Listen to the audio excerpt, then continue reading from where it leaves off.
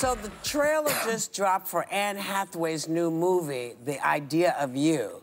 She plays a mom in her 40s in a relationship with a famous musician in his 20s. And apparently the internet is divided on it. Uh, some call the age gap disgusting, while others say they're here for it. You know, this is not new.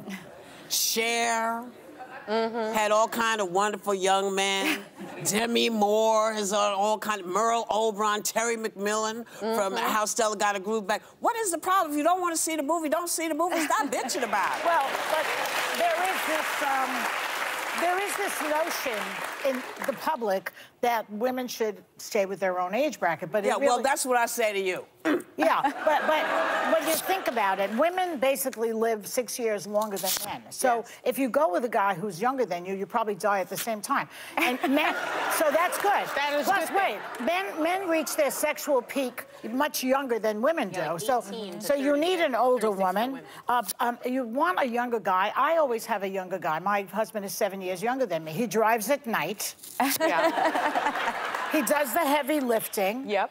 Um, he uh, he's sharp as a tack. If I get old and depressed, to decrepit, which I am already almost, he'll wheel me around instead of I'm wheeling him around. Okay.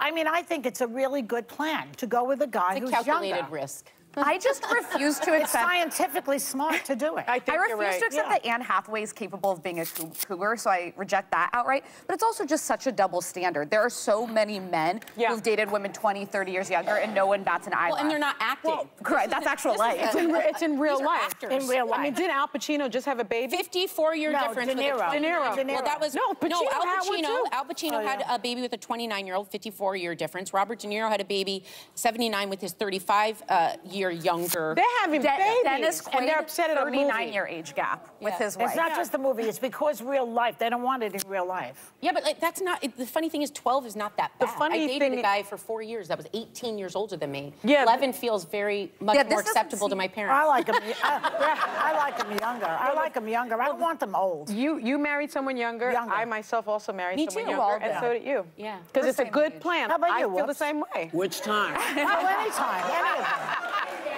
Well, I've gone up and down. The, I go, you know, I go from here to here. Yeah. You know, because I'm not, I'm not, you know, your age is not what's going to get me into your arms. yeah. yeah. It's not your age that I'm concerned about. No. Unless you're under 18, in which case I can't, Right, right.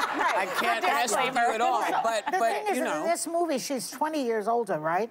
So 20 years oh, is 12. 12. Oh, in this movie, she's 12. But So But what's no, the it's problem? 20 in the Yeah. movie. because Oh, is it 20 in the movie? He's in his 20s, she's at 40. So it's probably 15. yeah, but so tw- that's Well, there's a 12, there's a 12 year age gap. it's a oh. movie. Remember though, remember Yes. that like like a big gap is pr- could be problematic because when you're like 20 and, and 40 is good, and even 40 and 60. But now 60 and 80 starts to get a little hairy. arriving at Actually, Then there's actually, I'm just going to say this 90 to you. Uh, one of one of the the last relationships I had, he was 40 years older than me.